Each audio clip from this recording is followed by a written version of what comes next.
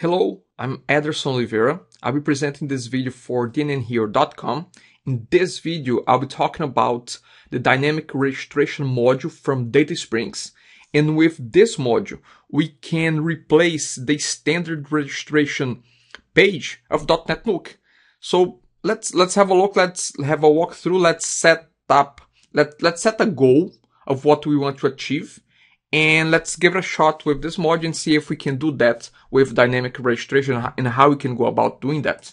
So I do have a test website and if I click register, as you can see, this is the standard registration fields, registration form of DotNetNuke.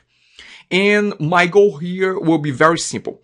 Even though dynamic registration a module can do a lot, can really do uh, a lot, a lot, but right now I want to do something simple with it. I want to see if I can accomplish the following. I want to make this form simpler.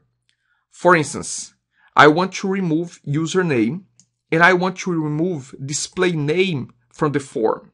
I want to recreate this form using dynamic registration uh, module from DataSprings. And I just want to ask for first name, last name, email address, and password. Now, here's the tricky thing. DNN, the core DNN, it does require all those fields. So all those fields are mandatory in their database, in the database. So we do need to supply a username, first name, last name, display name, and email address in the database. Now, we can supply them uh, behind the scenes. We don't necessarily need to ask the user for those information.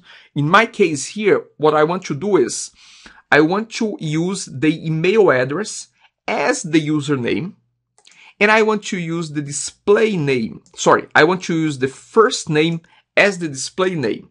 So I'm going to reduce the number of questions that I ask the user who's registering, but at the same time, I'll be providing all those fields to DNN by using dynamic registration because we cannot we cannot reduce those fields directly from the standard registration form of .NET. So let's get things started here.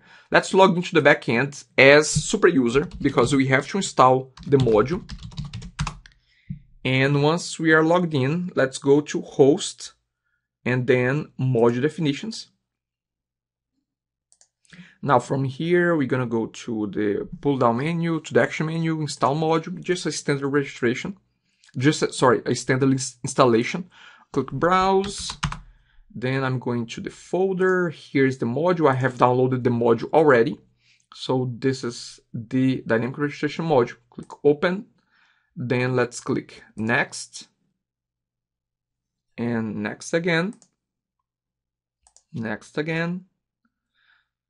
Okay, there's some uh, last terms here. I'm going to accept this without reading much next.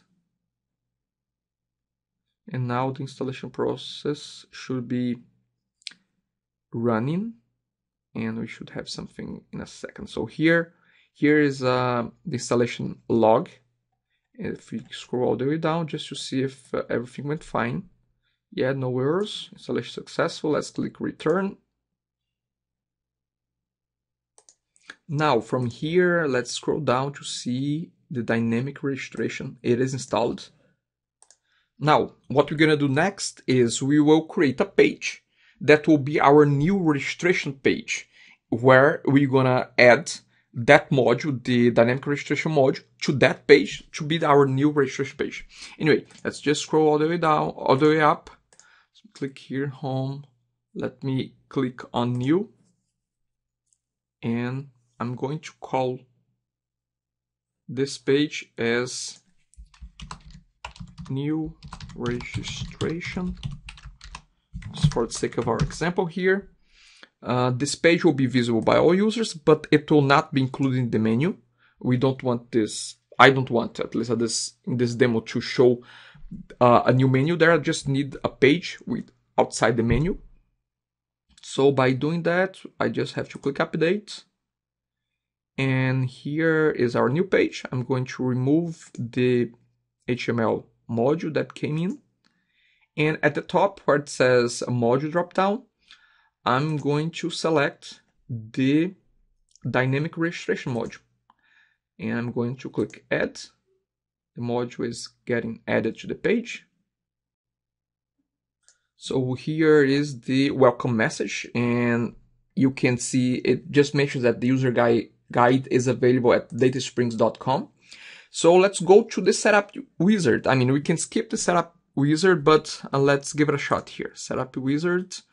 Now, it's um, it's bringing already uh, pre-selected the the fields that are standard in DotNetNuke. As I mentioned before, I'm going to remove. I don't want to ask for username and I don't want to ask for display name. Again, email address will be the username and first name will be the display name. So I don't want to ask that. So let's just keep check first name, last name, password, confirm password, and email address.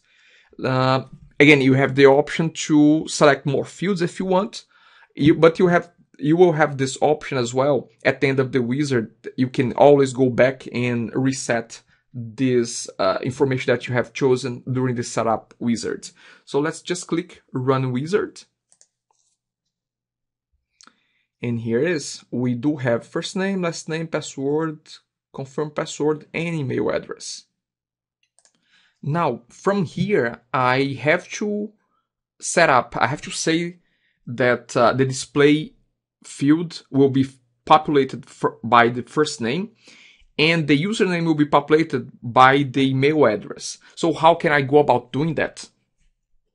Before we go that far, let's open Internet Explorer and let's see how our page is looking like. So here's how our new registration page is looking like from a user point of view.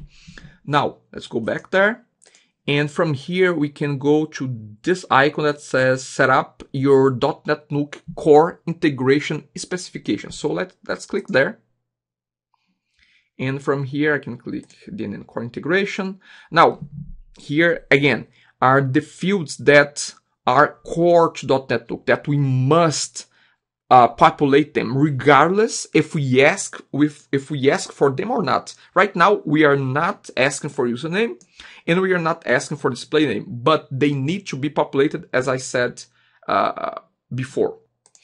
So for the username field, as you can see, there is nothing selected here. So I'm going to select another field to, be, to populate the username field, which will be the email address. So the email address will be our username. And the display name will be our first name. By doing that, I'm redu reducing the number of fields that I ask in the uh, site registration, as you can see, as compared to the standard one. Usually, as a, as a best practice, the less information you ask for a, in a form, or in this case, in a registration form, the more, the more, uh, users you will usually get filling out that form. So the more fields you have, the less users most likely will fill that. The less you have, the less fields, the more users you're gonna have filling this form. So with those settings done, I'm just going to click update settings. Now, is that all? I mean, is that the only thing that I have to do? Not really. If, if I go back to Internet Explorer, if I go back to the home page, and if I click uh, register, what we see is that this is this is the standard DNN uh, registration. This is not our new registration. So what we have what do we have to do to set up this page as our new registration page. So we have to go back to our admin uh, view and we have to go to admin site settings. This is the end of video one on the dynamic registration module from DataSprings and how you can go about simplifying the registration form in DotNetNuke.